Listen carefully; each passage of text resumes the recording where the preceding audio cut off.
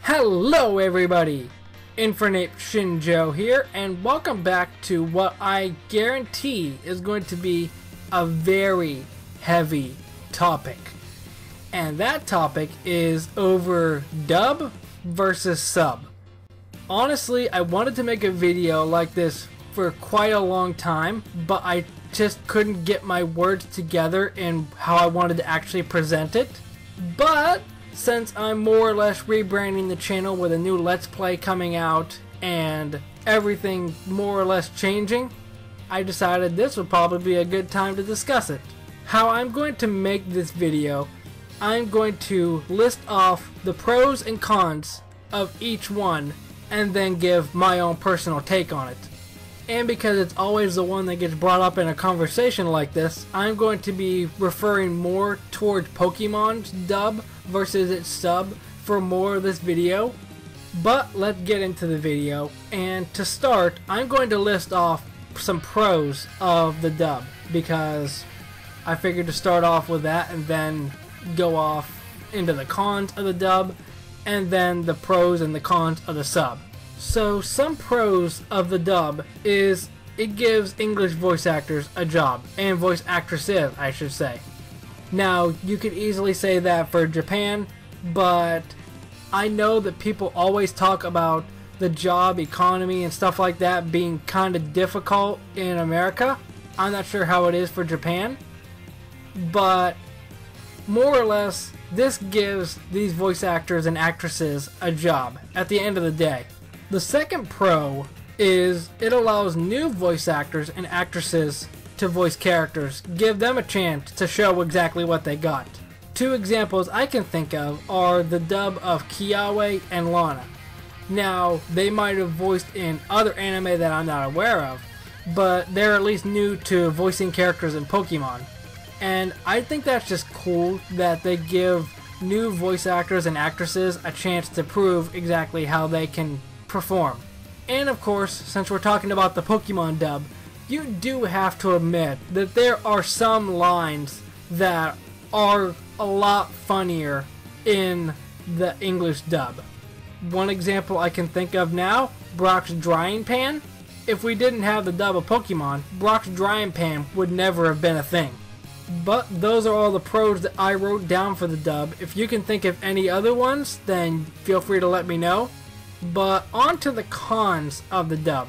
The first one, and I feel like this is a big portion of it, some people aren't a fan of the changes with dub music and some of the dub voice actors and actresses. A lot of the time it might not be against the people personally, just that they don't prefer the character that they're playing. Like, people absolutely despised Ash's voice when Sarah Natochenny first came out to perform as Ash. But now I feel like people are more or less adapting to it, and it's become like, oh, there's Ash's voice. Because I think Natacheni has voiced Ash longer than Veronica Taylor actually has at this point, which is kind of wild to think about. But obviously, dub music, obviously, people change the music from the Japanese over to the dub, and a lot of people just don't like that because it more or less just reduces the tension of any scene, which I get that. And probably the biggest con for the dub is they even change plot points and dialogue. Outside of the instances of Brock's rice balls and Morrison's sandwich falling down the hill, I can't think of any other ones that would have been changed. The only other thing I can think that would have changed is any instance of death in Pokemon. Because even the Stoutland episode in Sun and Moon, I think they more or less centered that just to show that, oh, Stoutland didn't die, he just went off somewhere. But next we go all the way to the other side of the world to discuss the sub. And first up are the pros.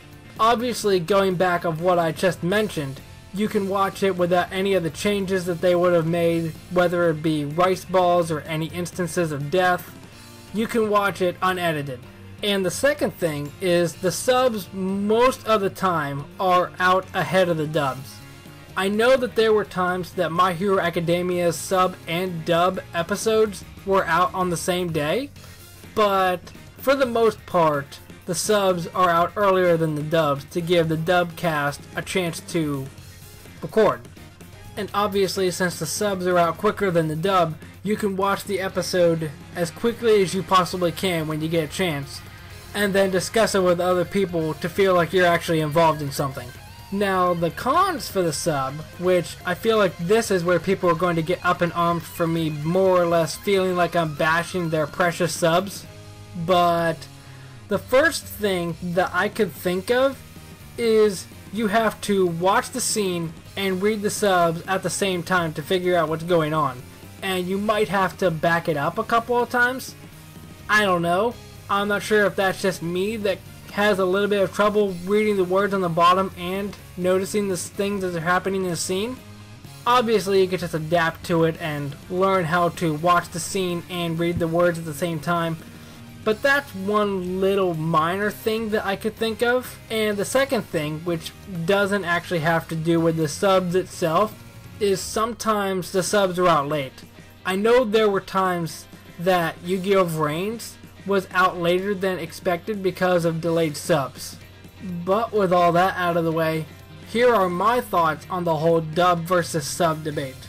For me, most of the time, if there's a show available in dub and sub, I would choose dub 95% of the time. Nothing against subs, it's just that it's easier for me to watch a show when I can watch the scene and not have to worry about reading the words at the bottom at the same time. Now, while I do say that, I do watch Pokemon in the Japanese and haven't watched the dub for a decently long time, so there is obviously some sort of differentiation with that. But like I did say, if there's a dub available, then I would more quickly pick the dub over the sub just for the fact of trying to multitask while watching the scene and reading the words at the same time. Plus, with a lot of dubs that I've watched recently, a lot of voice actors and actresses do carry roles from one show to another and sometimes sound like the exact same voice, so that's just cool. And that really brings me back to when I was watching Yu-Gi-Oh! and Pokemon and found out that Brock and James from Pokemon were voiced by the same guy that voiced Kaiba in Yu-Gi-Oh!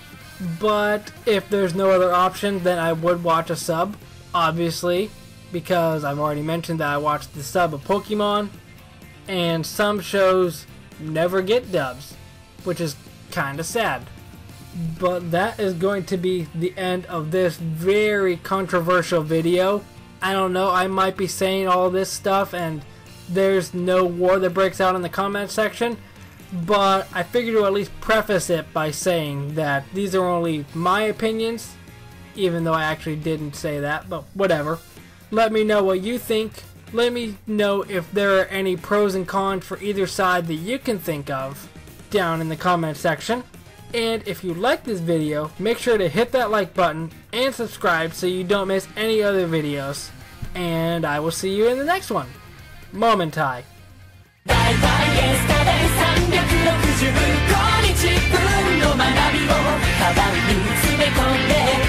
大